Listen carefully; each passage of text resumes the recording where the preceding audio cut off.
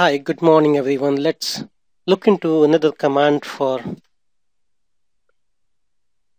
measuring or analyzing the performance of the system, which is extremely important command. That is the SAR command. SAR. SAR stand for System Activity Reporter. Okay, so this means System Activity reporter.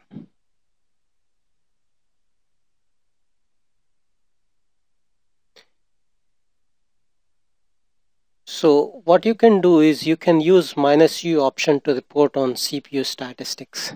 So let's say that this is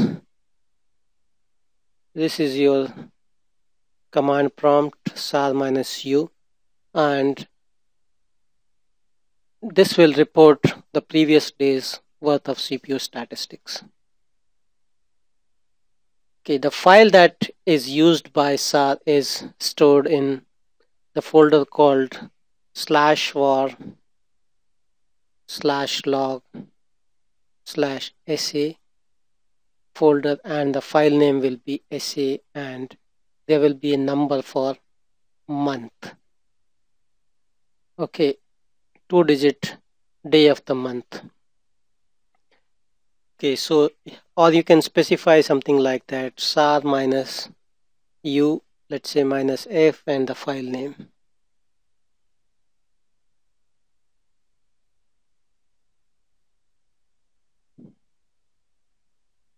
This is for the file in December. So let's look at this particular option, this particular command. Say, let's say if I type sar you will see the statistics like this. But if I type SAR minus U okay so you can see the previous day's worth of CPU statistics.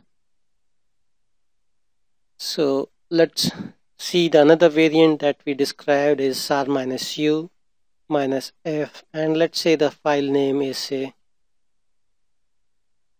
okay so it is saying that there is no such file or directory so let's go for this slash var log sa and let's type this command sa20 is for today. Okay, so what we will do is we will run this command as sar minus u minus f and this is the file name sa20. So you will see the statistics captured in this command. Okay, So this is about the SAR command.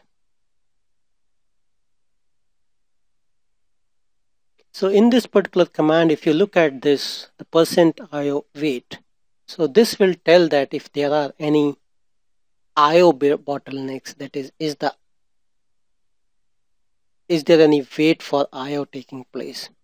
And follows that high percentage IO wait time indicates that IO subsystem is a potential bottleneck.